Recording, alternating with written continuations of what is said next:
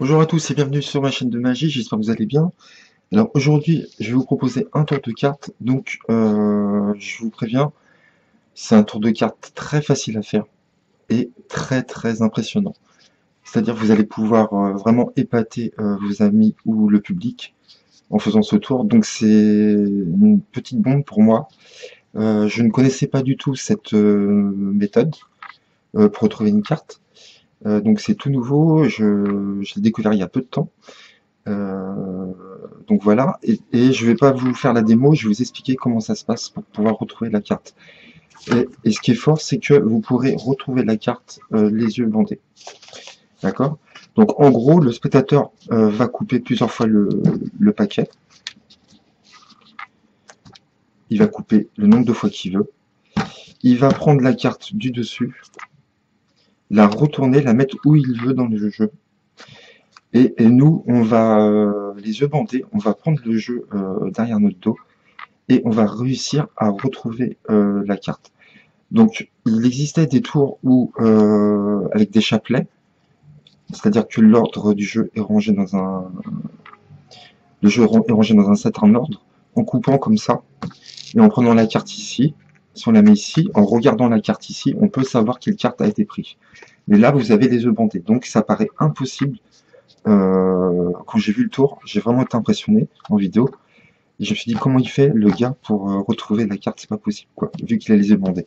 Donc, vous pouvez soit prendre ça pour mettre sur vos yeux, ou carrément, vous pouvez demander au spectateur euh, de vous scotcher les yeux, vraiment de bien scotcher les, yeux. Vous n'aurez pas besoin vous pouvez euh, retrouver la carte à l'aveugle. Donc, euh, comment c'est possible? Vous allez voir, le, le, système est vraiment génial. Donc, je ne peux pas vous faire la démo, donc je vais vous expliquer comment vous devez faire le setup du paquet déjà. Donc vous devez prendre un jeu de 52 cartes. Donc vous pouvez montrer les cartes au, départ comme ça, sans problème. Et en fin de compte, vous allez avoir deux fois la même carte. Donc je vais séparer, voilà ici.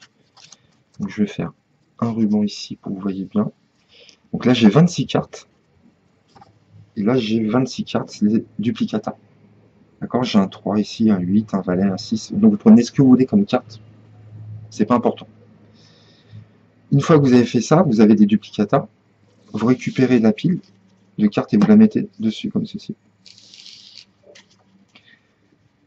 Vous retournez votre jeu, et là, il va falloir marquer vos cartes. Donc, pour euh, marquer vos cartes, vous prenez un scalpel, comme ceci, et vous allez gratter une carte sur deux. Donc là, j'ai gratté ma carte, ici, je vais vous montrer où. Celle d'en dessous, elle n'est pas marquée, elle n'est pas grattée. Celle d'en dessous, elle est marquée, et ainsi de suite. Pas marquée, marquée, pas marquée, marquée, pas marquée, marquée. Et vous faites ça sur tout le jeu du début à la fin. Donc moi, le marquage, je prends un scalpel et je gratte ici à la flèche ici. Je vais vous montrer en gros plan. Ici, vous voyez, je gratte ici, là, sur cette euh, barre blanche ici. Ok. Donc vous grattez un petit peu, pas, trop non plus pour pas que ça qu'on voit de l'autre côté. Suffisamment pour que vous puissiez euh, toucher avec votre pouce, sentir euh, ce que vous avez gratté ici. D'accord? Donc, vous faites euh, ça à chaque fois. Donc, vous grattez la première. Vous grattez pas la première, vous grattez la troisième. La quatrième, vous le faites pas. Euh, la sixième, vous, euh, un, deux, trois, quatre. La cinquième, vous la faites. Et ainsi de suite. Une sur deux. Vous marquez les cartes. Ensuite, comment retrouver la carte? Parce que ça ne suffit pas justement que les cartes soient marquées, qu'on les ressente. Imaginons, alors, vous avez toujours ici la première carte ici, peu importe laquelle c'est, ici elle est marquée. Vous aurez ici le, celle d'en dessous qui ne sera pas marquée. D'accord? Ça sera l'opposé. D'accord? Donc elle n'aura pas de marquage à chaque fois.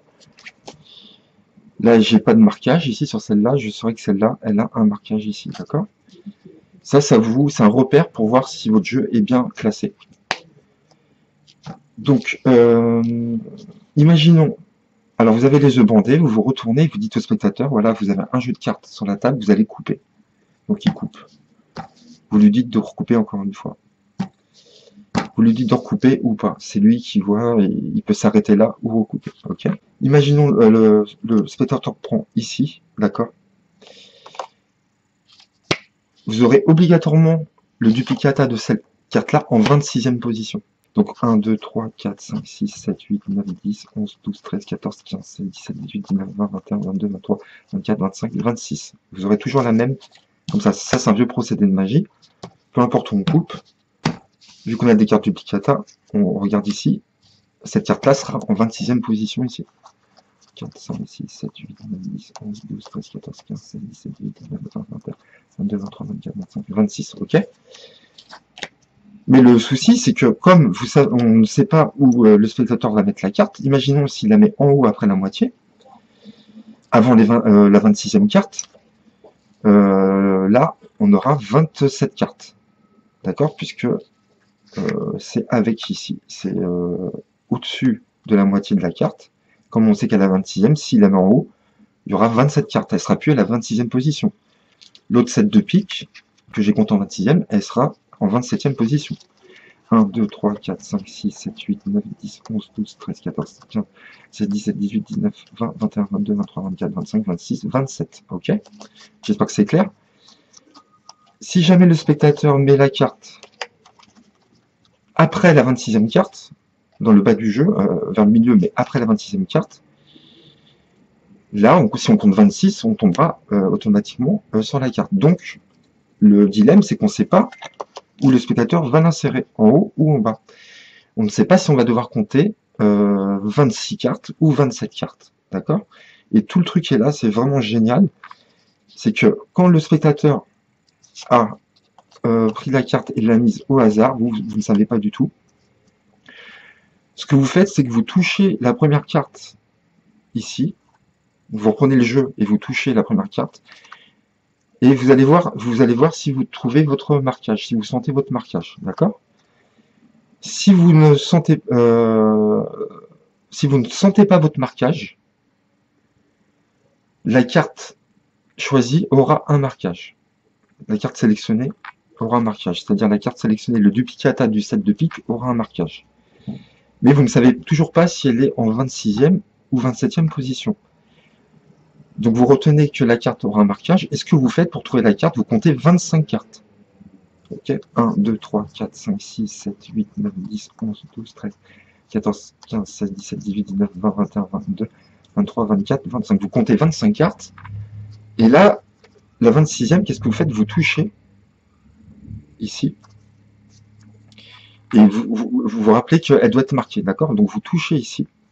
Et vous savez qu'elle n'est pas marquée. Donc vous passez. Vous touchez la 27e carte, et forcément vous sentez quelque chose. Et comme euh, on savait qu'il fallait qu'elle ait un marquage, vous savez que c'est cette carte-là que vous montrerez en disant j'ai retrouvé la carte. Donc si je sais que c'est pas, j'essaie d'être le plus clair possible, mais vous allez voir c'est très facile. D'accord? Comme vous savez que la carte du dessus est l'opposé le dessous, et ben c'est pareil pour trouver la carte. Je prends un autre exemple. Le spectateur ben, je tombe encore sur le 7. Le spectateur coupe, tombe sur l'as de trèfle et la met où il veut dans le jeu. on ne sait pas s'il la met en haut ou en bas.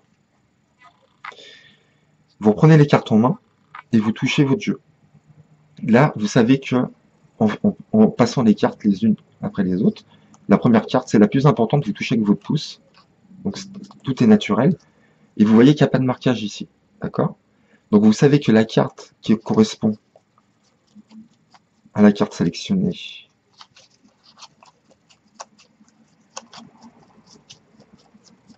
aura un marquage. D'accord? Donc vous comptez 25 cartes, toujours, toujours vous comptez 25 cartes. Et si vous voulez, après la 26e, ça sera soit la 26e, soit la 27e. Mais il suffit juste de toucher pour savoir. D'accord? Comme on sait que là, il n'y a pas de marquage, notre carte aura un marquage. Donc on compte 25, 1, 2, 3, 4, 5, 6, 7, 8, 9, 10, 11, 12, 13, 14, 15, 16, 17, 18, 19, 20, 21, 22, 23, 24, 25. Donc c'est soit la 26e, soit la 27e. Il faut qu'elle soit marquée. Donc vous touchez toujours, vous savez que celle-là n'est pas marquée. Et donc forcément, ça sera celle d'après. Vous demandez la, euh, la, carte du spectateur. Il va vous dire l'as de trèfle et vous sortez euh, l'as de trèfle. Ok? Je redonne un autre exemple. Il prend le 5 de cœur, il le met où il veut dans le jeu. Vous ne savez pas, vous avez les œufs bandés, euh, le, dos tourné. Il, met sa carte ici, donc le 5 de cœur. Vous prenez les cartes en main derrière votre dos et tout de suite vous touchez la première carte. D'accord? Et vous sentez qu'il y a un petit marquage ici. Donc vous savez, une nouvelle fois, que sa carte n'aura pas de marquage. Donc vous comptez 25. 1, 2, 3, 4, 5, 6, 7, 8, 9, 10, 11, 12, 13, 14, 15, 16, 17, 18, 19, 20, 21, 22, 23, 24, 25. Vous passez, vous continuez à passer. Là, vous sentez qu'il y a une marque. Je sens avec mon pouce qu'il y a une marque. Et je sais que c'est celle-là, forcément. Ça sera la 27e. Et vous montrez la carte. Vous dites quelle était votre carte? Il va vous dire le 5 de cœur. Et vous montrez le 5 de cœur. Tout ça, les yeux bandés. Donc ça paraît impossible pour le spectateur que vous puissiez retrouver la carte. D'autant plus que vous coupez euh, un nombre de fois conséquent. Il arrête quand il veut. Donc je vous donne un dernier exemple. Donc le spectateur coupe le nombre de fois qu'il veut. Il prend connaissance de la première carte, dame de trèfle, il la met où il veut, dans le paquet. Vous, vous touchez, vous avez les, cartes en main, vous touchez, vous, voyez qu'il n'y a pas de, marque, donc euh, la carte qu'il faudra trouver, la duplicata de la dame, devra être marquée. Donc vous ne savez pas si c'est la 26e ou la 27e, vous comptez jusqu'à 25. 3, 4, 5, 6, 7, 8, 9, 10, 11, 12, 13, 14, 15, 16, 17, 18, 19, 20, 21, 22, 23, 24, 25. Là, vous savez qu'elle n'est pas marquée, donc forcément, celle d'après sera marquée. Vous vous rappelez qu'il faut que vous trouviez une carte marquée, puisque celle du dessus n'avait pas de marque. Vous retournez, vous dites la dame de, euh, il vous dit la dame de trèfle, et vous retournez la dame de trèfle. Donc, euh, je vous promets que cet effet, il est très fort. Euh, vous allez voir, il a une puissance colossale. je l'ai testé deux fois et je vous promets que les gens étaient bouche bée.